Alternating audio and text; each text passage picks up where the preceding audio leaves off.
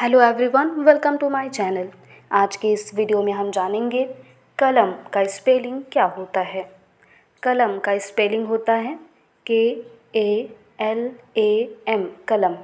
और कलम का इंग्लिश मीनिंग होता है पेन और पेन का स्पेलिंग होता है पी ई एन पेन दोस्तों पेन का प्रयोग हम लिखने के लिए करते हैं। इसी के साथ आज के इस वीडियो में बस इतना ही। Thank you so much for watching my video